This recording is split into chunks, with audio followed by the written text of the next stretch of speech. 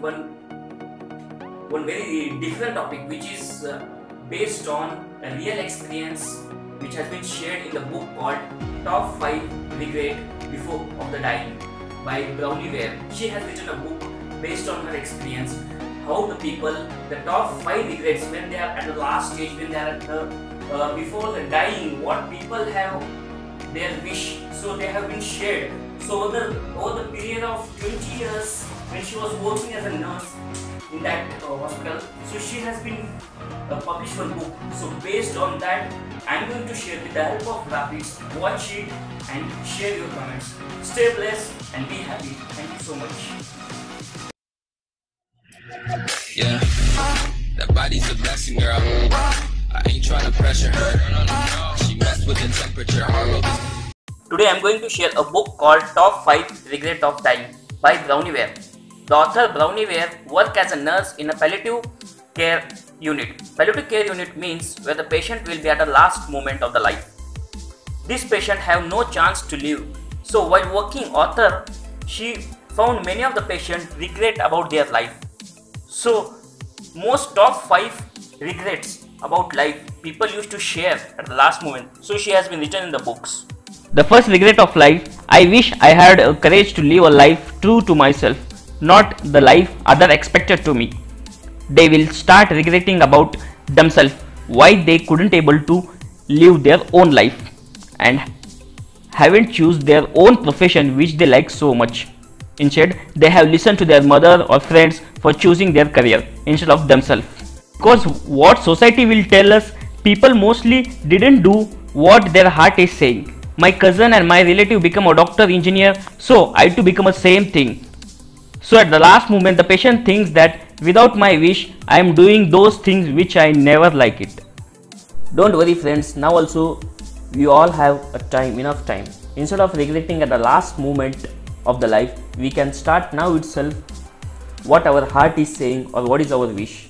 But if you think what people think about you, then you you will live a life which you don't like it. My request to all dear parents do not force to their children to become a same what their cousin or relative studied engineer or doctor.